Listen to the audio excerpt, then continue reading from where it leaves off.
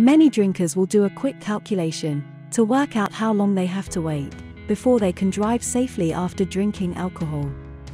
The trouble is that it's an imprecise science. People often miscalculate and drive while still over the legal limit.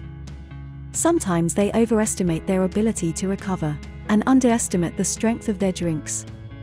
This is especially true of older drivers, who often don't realize that wines and beers tend to have a much stronger alcohol content than they did 30 years ago.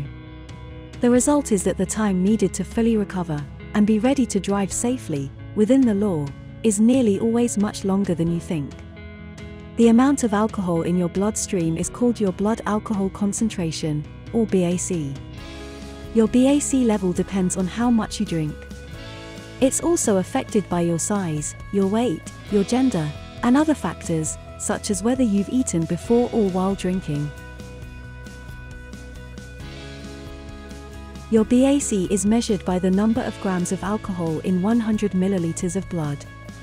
A BAC of 0.08 means you have 0.08 grams of alcohol in every 100 milliliters of blood. This is the legal limit for driving in the United States and in the UK. In Ireland and many European Union countries, the limit is even lower.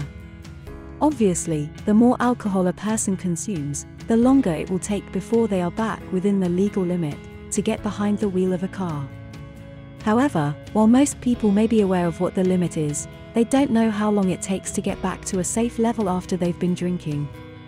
It can mean that people who drive, the morning after a heavy night out, will probably still be over the limit even though they think they have slept it off. Independent alcohol advice organization, DrinkAware, say there has been an increase in requests for advice on the matter. They advise that there is no quick fix to getting large amounts of alcohol out of your system, and it takes an average person around one hour to process one standard drink, referred to as one unit. The average bottle of wine has about 9 or 10 units. Most average beers have between 2 and 3 units. Premium beers can be even higher. It will take the body at least 2 hours to process one pint. If a person drinks 10 pints throughout the evening, they will not be ready to drive for at least 20 hours. If the person next to them also had 10 drinks, but their tipple was a single vodka and lemonade, each drink would take 1 hour to process, and they would be able to get behind the wheel 10 hours after their last drink. If a person has a bottle of either red or white wine to themselves, it will be 9 hours until they are safe to drive.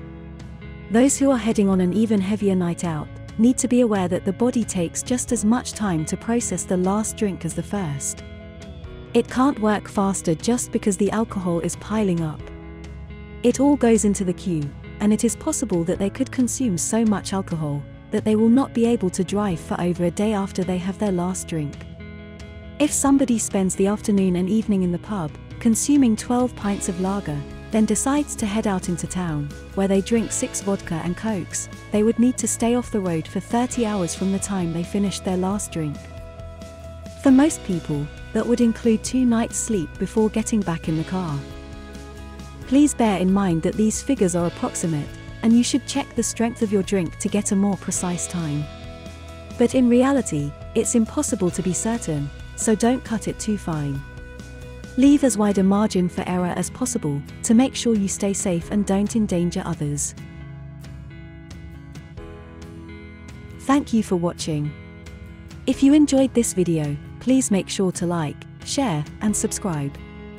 And leave a comment, we'd love to hear your thoughts.